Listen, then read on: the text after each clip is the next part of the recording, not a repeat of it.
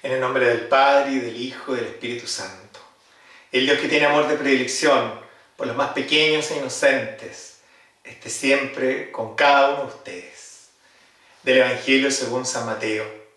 Después de la partida de los magos, el ángel del Señor se apareció en sueños a José y le dijo, levántate, toma al niño y a su madre, huye a Egipto y permanece allí hasta que yo te avise, porque Herodes va a buscar al niño para matarlo. José se levantó, tomó de noche al niño y a su madre y se fue a Egipto. Allí permaneció hasta la muerte de Herodes para que se cumpliera lo que el Señor había anunciado por medio del profeta. Desde Egipto llamé a mi hijo. Al verse engañado por los magos, Herodes se enfureció y mandó matar en Belén y sus alrededores a todos los niños menores de dos años, de acuerdo con la fecha que los magos le habían indicado. Así se cumplió lo que había sido anunciado por el profeta Jeremías. En Ramá se oyó una voz, hubo lágrimas y gemidos. Es Raquel, que llora a sus hijos y no quiere que la consuelen porque ya no existen.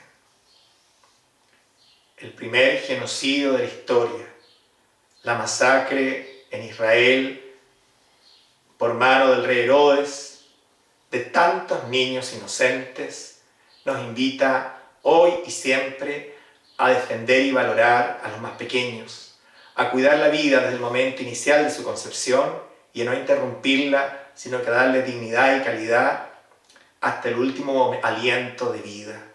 Por eso, al pensar en los santos inocentes, alzamos la voz para cuidar la vida por nacer, pero alzamos también la voz por tantas personas que a lo largo del ciclo vital, también inocentes, sin culpa, padecen una vida de denigración y de menoscabo.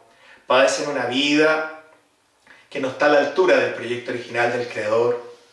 Al mirar en este día a los santos inocentes en el marco de la octava de Navidad, quisiéramos pedirle al niño Jesús que consuele y acompañe el dolor de tantas personas que han tenido pérdidas irreparables, como esta mujer llamada Raquel en el Evangelio, que llora a sus hijos asesinados.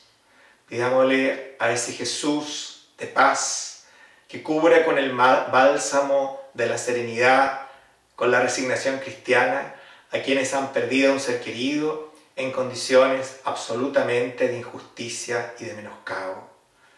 A este Dios que exalta a los humildes, que nos invita a defender la vida en toda forma, entre tantos hoy inocentes injustamente sacrificados, a Él sea todo honor y gloria por los siglos de los siglos.